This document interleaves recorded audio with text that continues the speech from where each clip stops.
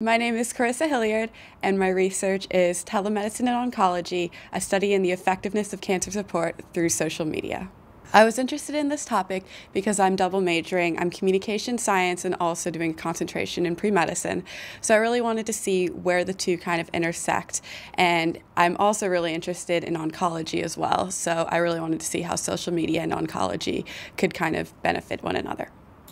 I did a content analysis over a 15 day period of the top cancer center's Facebook page, MD Anderson, located in Houston, Texas, and I analyzed the posts made by MD Anderson and also those made by other friends on the Facebook page. My name is Carissa Hilliard, and my research is telemedicine and oncology, a study in the effectiveness of cancer support through social media.